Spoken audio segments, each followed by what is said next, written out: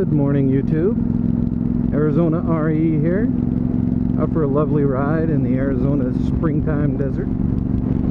Got a jacket on this morning, but uh, it was about 52 degrees when I took off this morning, but it's supposed to get up to 89 today. And that is a pretty big temperature swing, so jackets with liners and layers, those are a good thing this time of year an interesting topic has sort of resurfaced uh, in the circle of moto vloggers that I watch.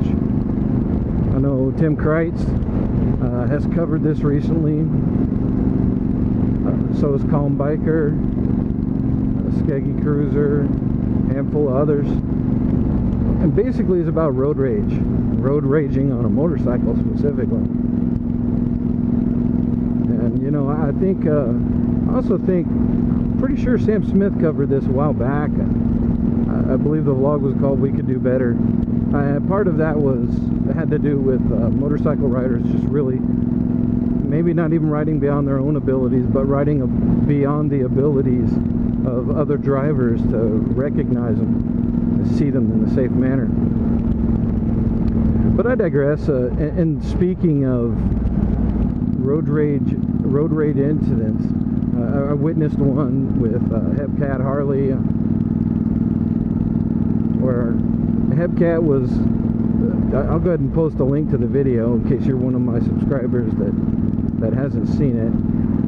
But you know Hepcat was very wisely uh, was waiting for this narrow alleyway to clear and and uh, waiting for the light to change. He didn't want to be stuck in the middle of the alley when oncoming traffic came through. And the driver behind him in a van got really, really irate and uh, went ahead and passed him. So as Hepcat was filtering back up to the front, uh, you know, Hepcat kind of gave him what for. Like, hey, you dummy, just trying to wait for traffic.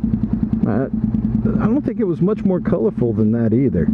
It certainly didn't warrant the response he ended up getting from this guy, who at the very next traffic light jumps out of the vehicle and comes up and gets right in Hepcat's face. And of course, if you're a motorcycle rider, um, I don't care how big, bad, and tough you are. Something something tells me Mr. Hepcat is a fairly formidable guy when he's on two feet and not on two wheels. But every single one of us knows if you ride a motorcycle, you are more vulnerable than anybody out there. And I'm not just talking about from oncoming traffic, but if a if a pedestrian wants to come up and push you over on that motorcycle, it's going to happen. And it doesn't matter how big, bad, and strong you are, it's going to happen. And you could be pinned under it, or uh, you know, you, you, you could do something stupid and try to stop the bike from going over and end up breaking an ankle or twisting a knee or something like that. God forbid if your knees already aren't in good shape. So when it comes to a confrontation like that, you really don't have a choice. You either need to bug out or try to de-escalate the situation. Uh, Hepcat chose to de-escalate the situation, and I applaud him for that. I've seen, I've seen it on the sides of the road. I've seen it going down. Uh, road ragers will push each other off of motorcycles. They'll jump on each other's cars, really putting themselves at risk. Just throwing their bike down for the sake of, of getting into a fight with someone over a, a traffic dispute. That seems kind of stupid to me. Um, but I also know I've, I've been pretty enraged by other drivers on the road. Of that, there is no doubt. But road ragers and fellas, I, I, uh, I appeal to you. If you ride a motorcycle, just don't bother. Just don't bother. Man, if you can't get away, you're just making yourself vulnerable. And it really doesn't matter how much of a Billy Badass you think you are. You may you may be a, a Royce Gracie Jiu-Jitsu champion. It doesn't matter. When you've got a 500 pound weight that you're balancing between your legs, and I'm not talking about the size of your balls, uh, someone can knock you over quicker than anything. And then what are you going to be concerned about? You got a 500 pound bike resting on one of your legs, unless you're quick enough to get off of it. but even that, just dismounting your bike, can appear to be an escalation. Um, what they call a pre-violent indicator. So in other words, if a driver decided to get out of his car, hang his head out the window and bitch at you, even though you may be dismounting your bike for safety because you're afraid this guy's going to attack you, it may appear to them that you are dismounting your bike for the purpose of causing them harm. So now who's justified in whatever actions they take? The bottom line is, guys, for a traffic violation, give them the horn, give them a rev bomb, shake your head in disgust, and then move on.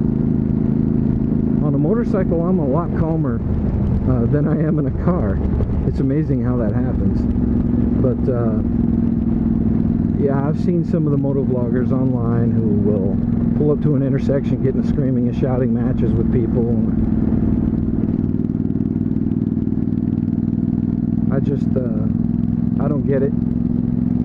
I, I, seem to recall a, uh, a fairly bad road rage incident where there was some road raging going on. Uh, yeah, I don't know. Now look, I'm going to go ahead and put the onus where it belongs, guys. Uh, this was a motorcycle club, if I remember right. It was over in New York somewhere. And uh, I'm trying to recall it to the best I can. I did not research it before I came out for this ride this morning. It's just a topic that sort of popped in my brain because so many other motor vloggers have been carrying it. Um, but at any rate,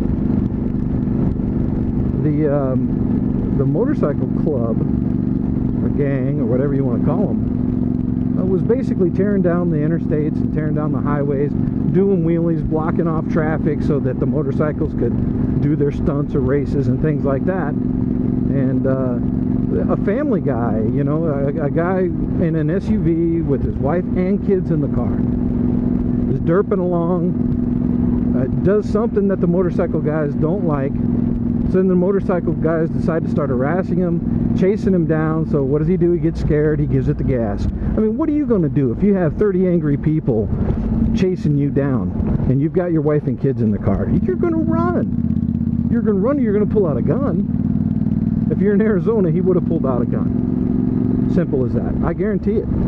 I guarantee it there are probably more guns in this state than there all are all in the entire uh, New England area. And I say that meaning uh, legally owned firearms. I'm not counting the illegally owned ones. If that happened in Arizona, uh, the guy in the SUV would have pulled out a gun long before uh, he got yanked out of the car and beaten to a pulp. But these people chased him, and I want to say it was for dozens of miles.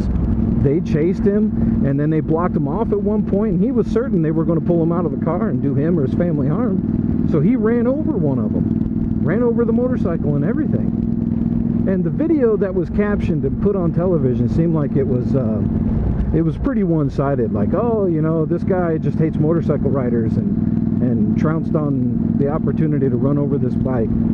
But I think once it all played out, it was it was fairly obvious that that uh, road rage got the better of both the motorcycle crew and the driver of that SUV. But man, it should never have escalated like it did.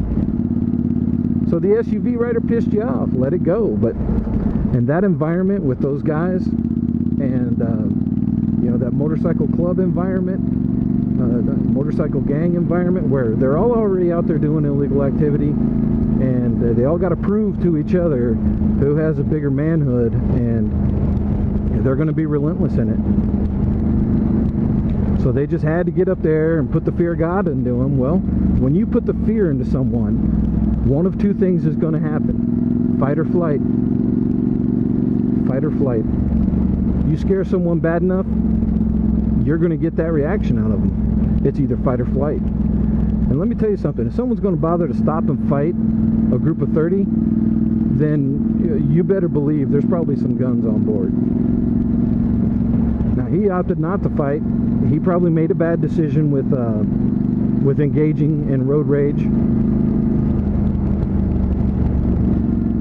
So, not saying he's without fault. He definitely made a bad decision and then that bad decision was made worse by the series of bad decisions that followed on both parties.